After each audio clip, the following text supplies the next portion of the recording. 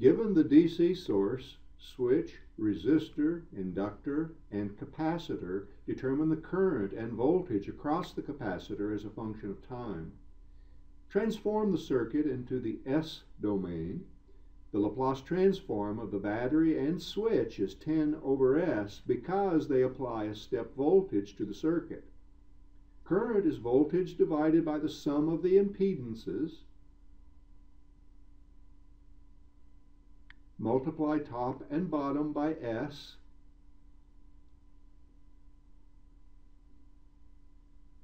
Divide top and bottom by L.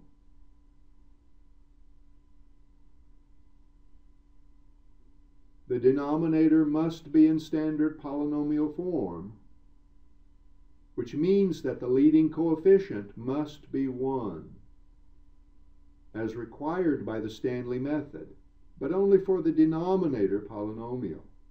Insert the numbers now.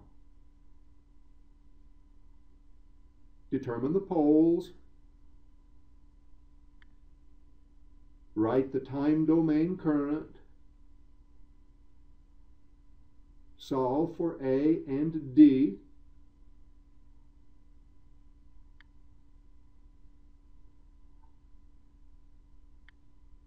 We'll plot this current function in a minute. First, find the voltage across the capacitor. Voltage across the capacitor is the current through the capacitor multiplied by the impedance of the capacitor.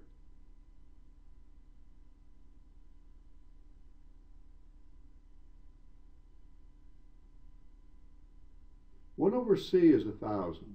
All numbers shown without units have MKS units. MKS units include amps, volts, ohms, watts, and seconds. Standard polynomial form is required by the Stanley method. Determine the poles. Write the time domain capacitor voltage.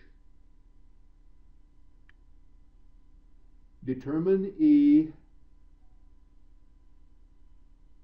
Determine f and g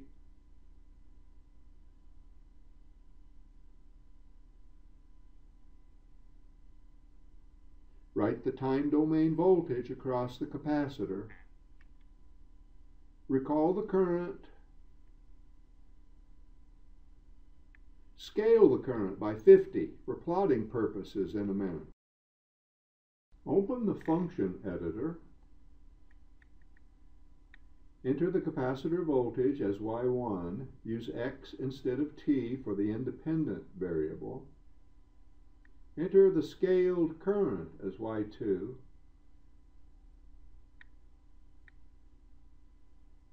Set the window parameters.